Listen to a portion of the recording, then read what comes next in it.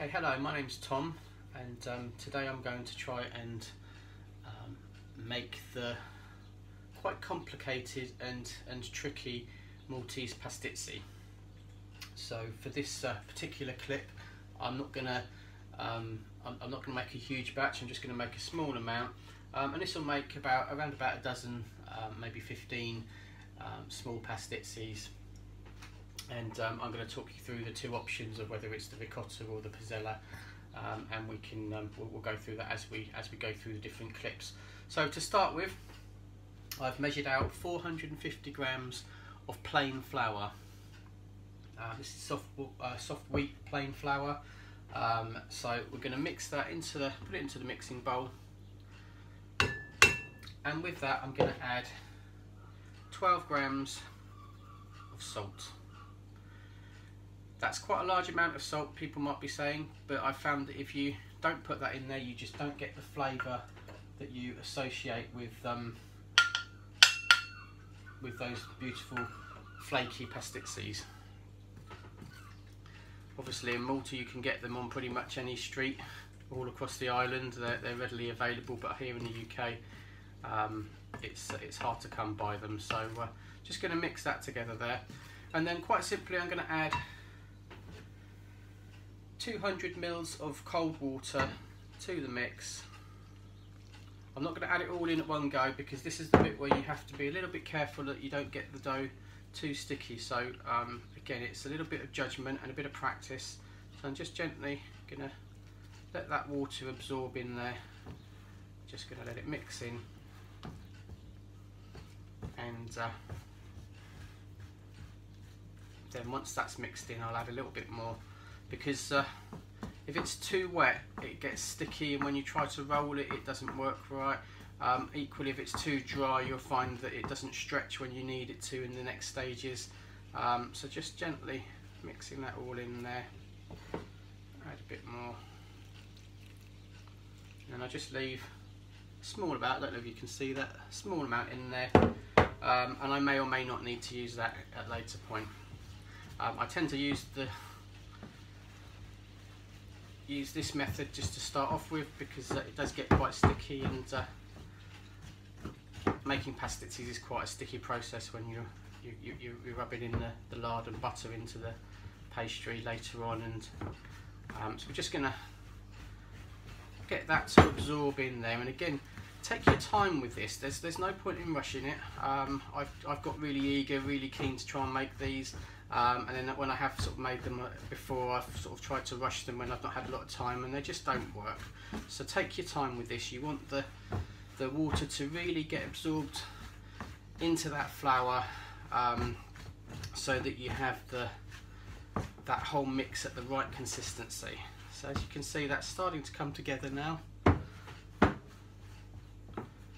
And when you're almost at this stage here, just, just rubbing those bits in there.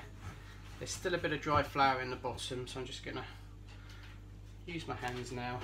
I'm going to grab some of that dry flour, just rub it into the spoon. Just helps to get rid of some of the excess there. And again,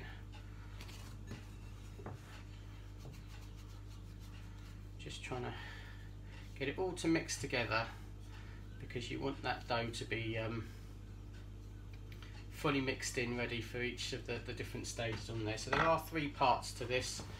Um, so this being the first part, um, this stage is is is key as as, as all of the, the stages are. If you get one of the stages wrong, you find the results don't come out so well. So I'm just using my fingers, just getting that all to to mix in. And uh, we're slowly getting there and you can start to feel it that it's starting to pull together nicely um, and you can, can get that. So there's still a bit of bit of, of, of flour in there so I'm just going to add a tiny bit more. Again not quite the whole lot because uh, I guess my measuring's not 100% each time so I am using the, the, the marker on the on the jug there. Um, but again the best way of judging this is get it approximately right there in the in the jug and then use your feel um, when you're making it. And obviously what you want to get to this stage where all of the flour is picked up in that dough.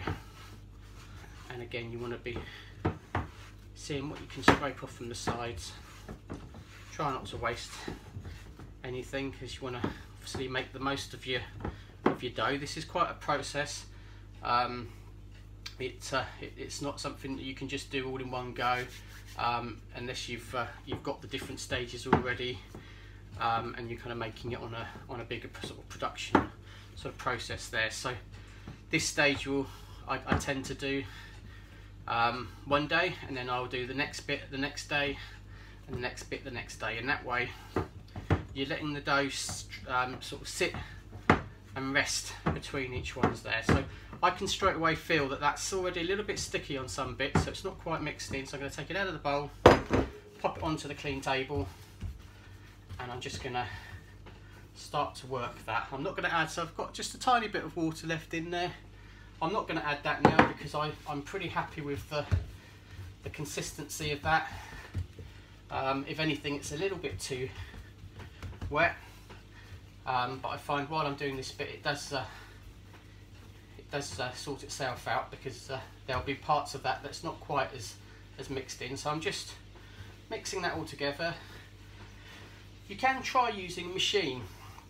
Um, I've, I, I found though that uh, it might just be my machine that's just a bit because it's a, a, relatively cheap one it's not quite as, as, advanced and it's quite got quite sort of rough settings and uh, I find that actually when I when I've tried to do that I've actually overdone it and it's got too it's gone too too much gluten perhaps in there and it's it's it's just gone and uh, gone all funny. It goes all soft and too stretchy and then you can't really do anything with it. So straight away you can see that's got a bit of a pull to it. Um, it is a little bit sticky. But fortunately I've left a tiny bit flour left in there. So I'm just going to add that to there just to just to finish that off because it is just it's just a little bit sticky and that might explain why um, it is as it is there. I didn't realise when I was doing that that I hadn't put every bit of the flour in there. Um, but now that's looking pretty good there so it's not sticking to my hands it's not sticking to the table. I'm just going to mix all that in there. And then we're going to do something just to help that process of getting it ready for the next stage. So now that I've rolled that out, I'm just going to pop it along like that into a little sausage shape. And then I'm going to roll it. And again, this is just to help to get the the pastry into a, a workable sort of state. So I'm just stretching it and again this is the bit if it's too wet it will stick to the rolling pin. So just giving that a bit of a stretch. I'm going to fold it over flip it around and I'm going to do this approximately 10 times. And that way I know I've really worked the, the pastry. I've got it really everything's mixed in nicely.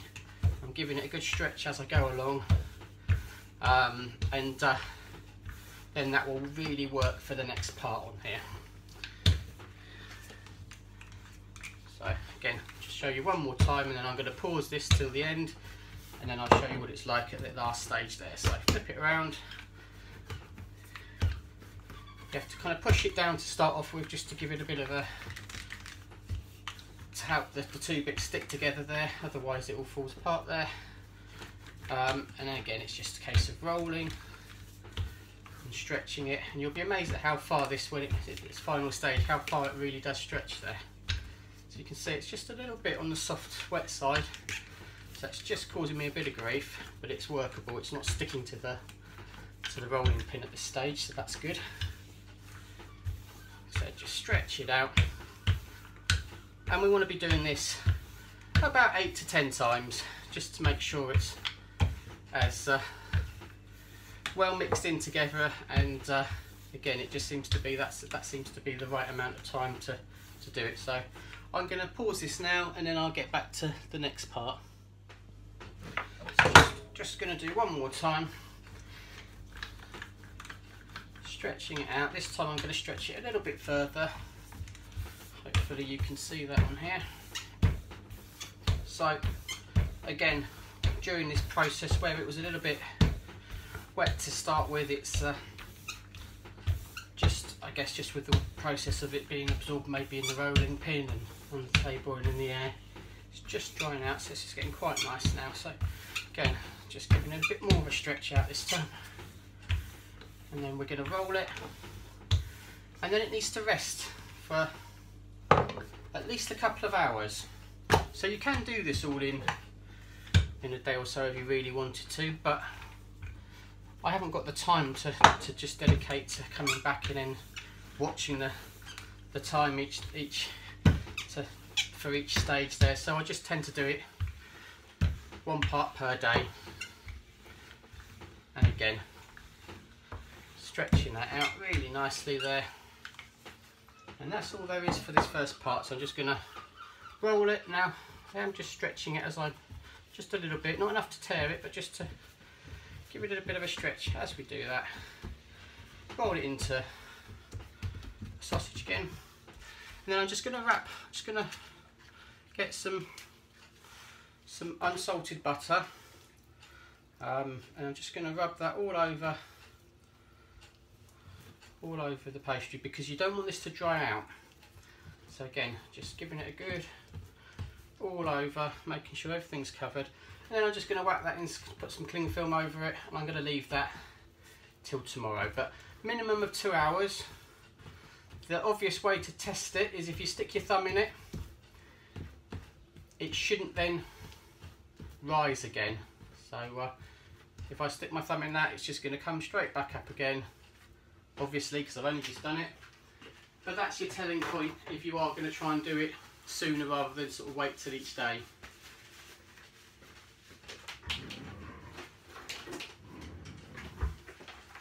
So just a bit of cling film, bane of my life. There we go always sticks to the stuff you don't want it to stick to. And then that's it. So that will just sit now in the in the fridge. I'll leave that overnight, but uh, again, minimum of two hours. Give it a press. If it doesn't rise up, then you know you can start to do the next stage.